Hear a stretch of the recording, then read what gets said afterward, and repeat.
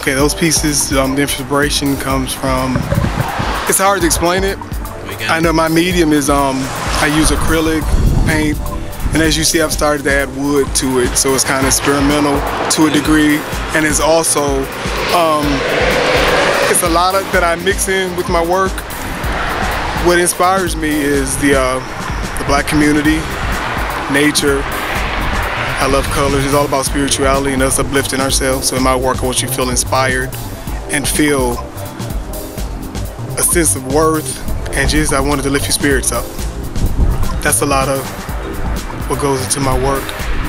You know it's weird, the spirit just moved me and I don't know, something just hit me. I wanted something that vibrated liveliness. If I make my I make my images dark, so I always need something to brighten that up. I use the dark because I use them, I make them black because I want to fall in love with the um with what the root to become from, which is we're black and that's what I want us to fall in love with.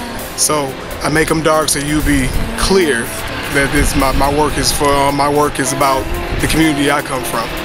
The colors I use is spiritual to be honest with you because I'm not a trained artist, so I'm self-taught. So red, this time with the red, like with some with one of the particular paintings in particular, there's like drippings of paint. That's kind of like what we've been through here in our sojourn here in America, but we're still together out of all that. I try to bring hope back to the community too, as far as with the Black Love theme. So a lot of these that you're seeing are from my theme that I've been working on that started last year, which is uh, Black Love.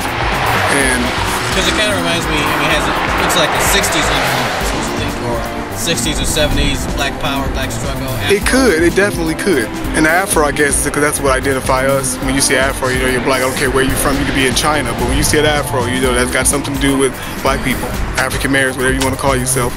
But um, I guess that would be some of my influence as well too.